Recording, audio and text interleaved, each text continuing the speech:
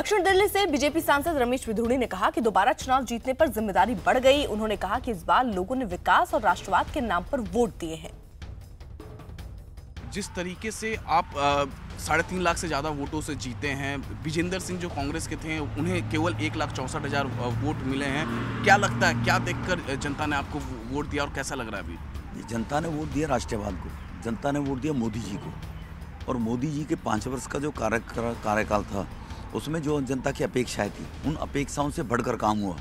वो वर्ग गरीब वर्ग दलित वंचित उपेक्षित उस वर्ग को सम्मान मिला है महिलाओं को सम्मान मिला है। शुरुआत में ही अमित शाह और नरेंद्र मोदी प्रधानमंत्री ने ये कहा था कि जो इस बार होगा जो बीजेपी होगी वो 300 प्लस होगी इंडिया साढ़े तीन सौ के आसपास होगी। और साथ ही साथ जो हमारा एग्जिट पोल था न्यूज़ एटीन इंडिया को उसने भी बताया था कि जो एनडीए इसी तरीके से बहुमत पाएगा। तो आपको क्या लगता है जो वोटिंग हुई है क्या विकास ही केवल एजेंडा था? विकास और राष्ट्रवाद जो देश की अस्मिता लुटती रहती थी, छब्बीस ग्यारह जैसे अटैक हो जाते थे, भारत केवल सबूत देने में लगा रहता था। पुलवामा, उरी में कभी ये नापाक कोशिश करने की कोशिश की पाकिस्तान आतंकवाद, आतंकवादियों के माध्यम से।